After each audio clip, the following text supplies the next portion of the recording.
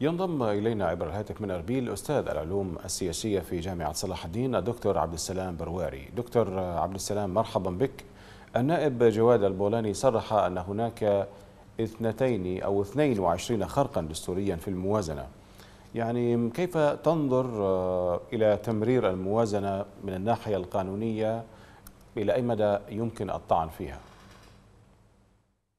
يعني خلينا نكون صريحين من, من الناحية القانونية نظام داخلي البرلمان صريح الجلسة تكون يعني قانونية إذا حضرها نصف أعضاء البرلمان وفي أي قرارات تصدر إذا صادق عليها أكثر من نصف الحاضرين فهي قانونية. يعني من ناحية التقنية القانون كأي قانون آخر صادر. ولكن ليس المهم كيفيه اصدار القانون المهم محتواه آه يعني الميزانية تحمل نفس الأمراض ونواقص ميزانيات السنوات الثلاثة الأربعة الماضية آه فيها حقيقة أمور آه يعني تستند على قوانين هي حقيقة مخالفة للدستور مثل مسألة الحزب الشعبي وإلى آخره الميزانية لم تلبي مطالب أكثر من 60% من أبناء الشعب العراقي وهم يشكلون سكان اقليم كردستان والمحافظات السنية المدمرة بعد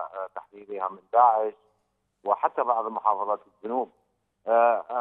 بتصوري أهم شيء يمكن أن نخرج منه من هذا ما حدث اليوم هو أن الكتل الشيعيه اللي أقولها صراحة قررت نهائيا بأنها يعني سترسخ حكم الفئه وحكم الطائفة وتكرر كل الأخطاء التي قامت بها الأنظمة السابقة طوال 100 سنة في العراق ونحن نعرف إلى أين يجر مثل هذا التفكير جر بنا وضع العراق إلى هذا الوضع. يعني المسألة ليست فقط أن الكرد يحصلون على 2 أو 3 أو 4% زائد ناقص من الميزانية. لا بالنسبة لي يعني اللي أراه أن أن ينظر المرء إلى المشكلة ككل هو انتصار ما يسمونه هم يعني إلى أي مدى تعتقد أن يعني تلويح التحالف الكردستاني بالامتناع يعني التحالف الكردستاني لوح بالامتناع عن المصادقة على الموازنة، إلى أي مدى أن ذلك تعتقده ربما يكون ممكنا؟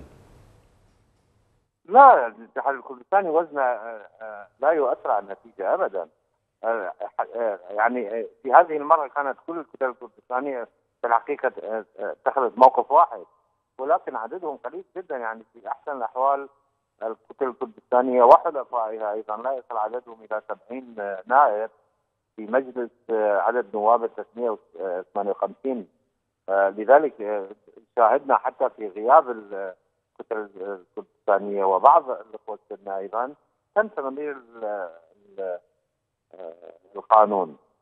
يعني يعني من الناحية القانونية كيف سيكون مصير هذه الموازنة فيما لو امتنع فؤاد معصوم عن المصادقة عليها؟ أنا لا أتصور أن فؤاد معصوم يقوم بذلك، فؤاد معصوم لا يمثل الكرد هو هو كردي يتولى رئاسة دولة، يعني الكثير يضعون أعضاء كثيرة على الوزراء أو أو المسؤولين الكبار الكرد في الحكومة الاتحادية، كل واحد يعرف الاصباء الإدارة. فؤاد معصوم لا يجوز له الدستور لا يسمح له منصبه ولا يسمح له أن يتصرف ككردي. كما أن هشام الزباري عندما كان وزير الخارجية ووزير المالية لم يتصرف حسب رغبة كردستان. هو هو موظف فدرالي ينفذ اوامر الفدراليه طبيعة الدكتور فؤاد معصوم أيضا هي ليست طبيعة سودانيه لا تبحث عن مشاكل. أنا لا أعتقد طيب. يعني بعد إقرار تخفيض نسبة موازنة كردستان العراق في الموازنة دكتور يعني إلى أي مدى تنظر إلى تبريرات الحكومة في بغداد أنها منطقية؟ يعني كل شخص يتصور هو المنطقي بغداد تجد دائما يعني ذرائع في امتناع عن الادويه امتناع عن التوسط يعني مسائل غير سياسية مثل الحنطه في العراق سنويا تجمع محاصيل الحنطة من السايبوات والحكومة الاتحادية تشتريها لقاء وصولات. منذ ثلاث سنوات تمتنع عن دفع آه، أموال عن عن ماده حصلت عليها يعني فتره غير سياسية، لذلك أنا أتصور سيجدون أكثر من مبرر ليثبتوا بأنها صحيحة، المسألة مو ليست هنا، المسألة هل نحكم العراق بعراق يشعر الجميع بأنه هو عراقهم؟ ام تفرض عليه المواقع؟ أيضا يعني الحكومة وضعت آه، يدها على موارد كثيرة في كردستان يعني على المعابر على النفط يعني من وجهة نظرك ما تداعيات ذلك على الحياة الاقتصادية في كردستان؟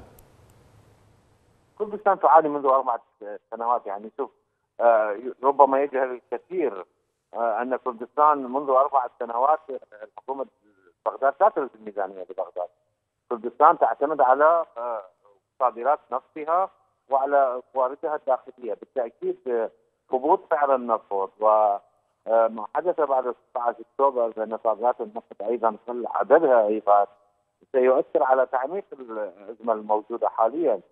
ولكن أنا أعتقد في بغداد لا أحد يهتم بذلك بل بالعكس نحن نقرأ إشارات من ساسه في بغداد بضمنهم سيد رئيس الوزراء بأنهم فرحون وأنهم ينتظرون هذه الفرصة على أمل نعم. يتوقعون أن هذا يؤدي إلى آه، آه، يعني غضب جماهيري أو إلى إلى آه، إزالة الحكومة أو بروز جهات كردية تقبل الخضوع لهم. نعم. وأنا أعتقد هذا حلم أيضا ولكن بالتأكيد يعني.